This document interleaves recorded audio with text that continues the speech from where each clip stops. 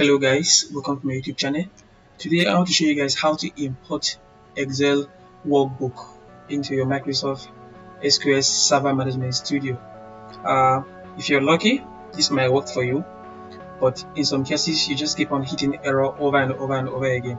So i want to show you guys uh, another way you can use to import excel workbook into your uh, microsoft sql management studio. But this is the default way of doing it. You just come here uh, right click then go to your tasks then come to your import data. It will open the wizard import export uh, window for you. Just come here. But as for me I keep on doing this and it just uh, keep on hitting error error. The error was just too much. I even went to Stack Overflow and believe me I couldn't get a unique answer. As so many people were asking me to download the 64-bit, 32-bit. There were a lot of uh, suggestions and none of them could really give me what I wanted. Let me just come. There's I want to import. Uh, I think we're importing it into hotel booking. So let's go to our hotel booking. I think I have some data there, right? Yes, hotel booking history. So if I try to import this now, you see it will hit an error. Are you seeing it? I just keep on getting this error over and over and over again. I've I tried it, I tried so many ways and it couldn't work. Well, if you're stuck at this stage, then this video is for you. Let me show you how you can do it.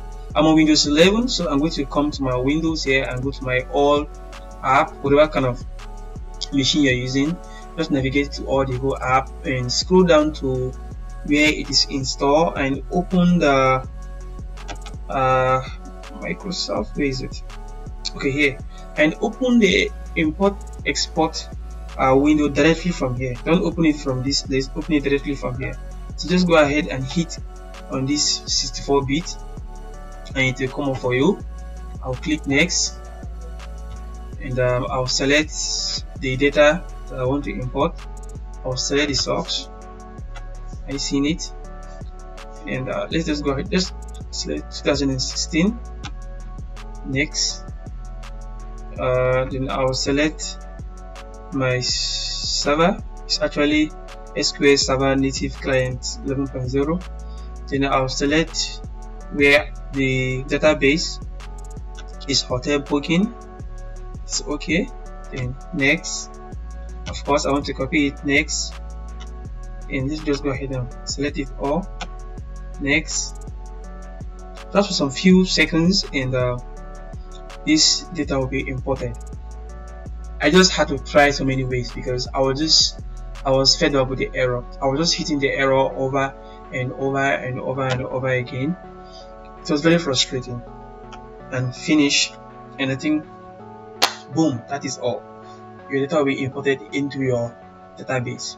If you try importing it from from here if you try importing it from here through the the tasks and you're hitting that error just try this method and see. It's going to work for you. Let me just expand it so you can see better are you seeing it? About eight rows transferred still loading. Still loading we're expecting about 21,000 rows. Are you seeing it? And there you go. And everything has been imported. So now if I come back to my hotel booking now let me open it. If I go to my tables now you should see the data successfully imported. I see the data here. They are all successfully all the tables have been successfully imported into the database. So this is how you import your Excel workbook into your Microsoft SQL Server Management Studio. I hope this video helps and if it does go ahead and give it a thumbs up. And if you haven't subscribed to my YouTube channel please feel free to hit the subscribe button thank you for watching. Stay blessed